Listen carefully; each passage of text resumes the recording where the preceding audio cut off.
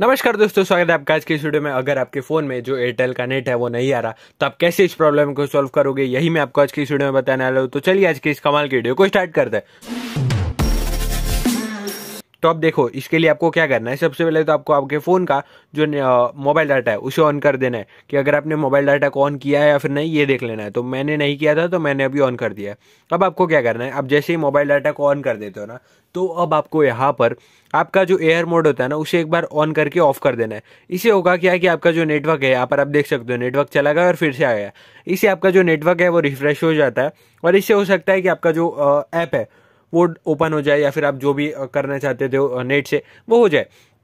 तो यहाँ पर आपने, हमारा नेटवर्क तो रिफ्रेश हो चुका है। अब मैं आपको बताता हूँ दूसरी सेटिंग जिससे कि ये प्रॉब्लम सॉल्व हो सकता है।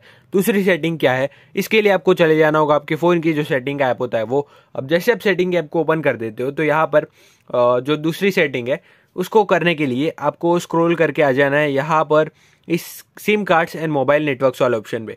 तो आप जैसे ही इस SIM card and mobile network पे क्लिक करोगे ना तो अब आप जैसे ही आ जाते हो SIM card and mobile networks पे तो अब आपको यहाँ पे दिखाई देगा डाटा कार्ड तो यहाँ पर आपको देख लेना है कि देखो क्या होता है कि बहुत बार आपके फ़ोन में जो है दो कार्ड्स हो सकते हैं और यहाँ पर अगर आपके जो है एयरटेल के कार्ड में नेटवर्क है या फिर एयरटेल के कार्ड में आपने जो है नेट डलवाया है, लेकिन आपने जो है दूसरे कार्ड को यहाँ पे सिलेक्ट किया है ना तो उसी कार्ड से आपका जो नेट है वो चलेगा और हो सकता है कि उस कार्ड में नेट ना हो। तो आपको क्या करना है, यहाँ पे देखो सिम वन और सिम टू है। तो आपको यहाँ पे इस पर क्लिक करके देख लेना है कि सिम वन में ही नेट है या फिर नहीं, या फिर जो भी सिम है आपका एयरटेल में, उसी में नेट सिलेक्ट है या फिर नहीं।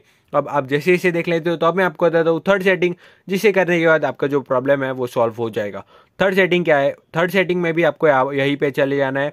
SIM card and mobile networks पे आप जैसे आ जाते हो तो यहाँ पर आपको दिखाई देगा सिम वन और सिम टू। तो यहाँ पर आपको क्या करना है, जो भी आपका एयरटेल का सिम हो, उस पर क्लिक कर देना है। तो जैसे कि मेरा ये वाला सिम है तो मैं इस पर क्लिक कर देता हूँ। अब जैसे इस पर क्लिक करोगे ना आप, यहाँ पे आपको सिंपली स्क्रॉल कर देना है। तो यहाँ पर आपको दिखाई देगी बहुत सारी सेटिंग। तो आपको क्या करना है, सबसे पहले तो आपको जाना है एक्सेस पॉइंट नेम्स पे, और जैसे आप आते हो एक्सेस पॉइंट नेम्स पे तो यहाँ पर आपको दिखाई देगी एपीएन की सेटिंग तो आपको क्या करना है? सबसे नीचे आ जाना और यहाँ पर आपको ये जो रीसेट वाला बटन है ना, इस पर क्लिक कर देना। इससे क्या होगा कि आपका जो एपीएन होगा ना, वो रिसेट हो जाएगा और इससे हो सकता है कि आपका जो नेटवर्क है वो आ जाए और आपका जो नेट है वो चल जाए, आपकी एयरटेल का। अब हमें क्या करना है? यहाँ पे आपको चले जाना है मोबाइल नेटवर्क वाले ऑप्शन पे और जैसे आप आते हो मोबाइल नेटवर्क पे तो यहाँ पर आपको दिखाई देगा ऑटोमेटिकली सिलेक्ट नेटवर्क तो इसको आपको जो है ऑन ही रखना है। अगर ये ऑफ़ होगा तो भी आपके जो एयरटेल का नेट है ना, वो नहीं चल रहा होगा। अब हमें क्या करना है? यहाँ पर आपको दिखाई देगा यूज़ वॉल्टी तो आपको यूज़ वॉल्टी को भी ऑन कर देना है। अगर आप यूज़ वॉल्टी को ऑफ़ करते हो ना तो आपका जो कॉल्स है ना, वो नहीं लगेगी। और यहाँ पर बस यहाँ पर तो इतनी सेटिंग थी। अब आपको एक मेन सेटिंग क्या करनी है? आपको देख लेना है कि आपने जिस भी सिम में नेट डलवाया है, उस सिम में, यानी कि एयरटेल के सिम में जो है नेट डलवाया है या फिर नहीं? ये आपको मेन चेक करना है। या फिर हो सकता है कि आपका जो बैलेंस है वो एक्सपायर हो चुका हो।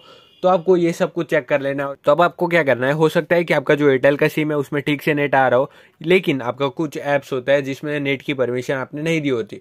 उसके लिए आप कुछ ऐप्स में नेट नहीं चल रहा होगा। तो आपको क्या करना है? जिस भी ऐप में नेट नहीं आ रहा है ना, उसमें आपको ऐप इन्फॉर्मेशन को ओपन कर देना है।